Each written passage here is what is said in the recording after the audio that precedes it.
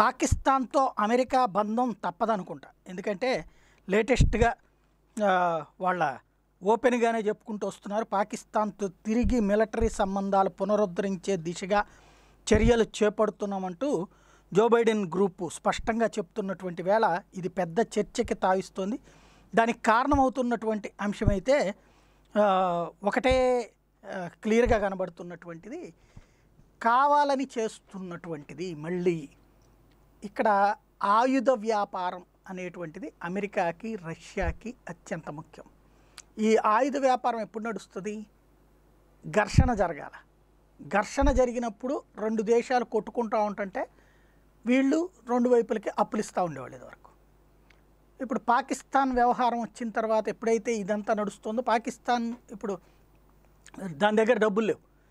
వీళ్ళే అప్పులు ఇప్పించి ఏర్పాటు చేస్తారు. వీళ్ళే ఆ అప్పులతో వీళ్ళ దగ్గర ఉన్న ఆయుధాలు వాళ్ళకి అమ్ముతారు.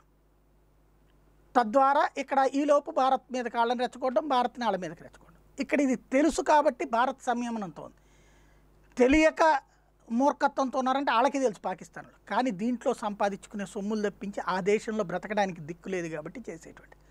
ఇప్పుడు లేటెస్ట్గా ఏదైతే జో బైడెన్కి సంబంధించినటువంటి విదేశాంగ శాఖ రక్షణ శాఖ పాకిస్తాన్ వాళ్ళకి సైనిక శిక్షణ ఇస్తానని చెప్పడం కానీ అట్లాగే తమ వ్యూహాత్మక భాగస్వామిగా చూస్తాము అని చెప్తుండటం కానీ కీలకమైన పరిణామం అవుతుంది.